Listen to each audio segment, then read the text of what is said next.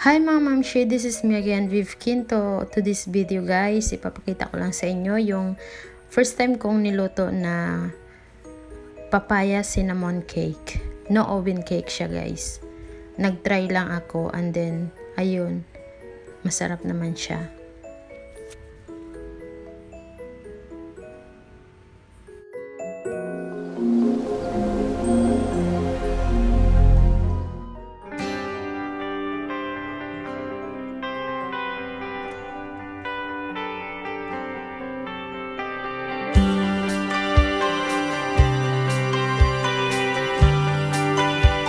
To this video guys, hindi ko po ituturo sa inyo kung paano ko siya ginawa.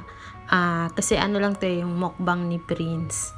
So, isinishare ko lang sa inyo yung, kasi first time ko pang gumawa ng ganito eh. Pero yung buong recipe, yung buong kompleto ng list ng ingredients, uh, isi-separate ko siya i-upload ko siya separate kompleto na siya kung paano ko siya ginawa at kung ano yung mga ingredients na ginamit ko. So, this video guys is more ano lang guys, yung mukbang lang ni Prince pinakita ko.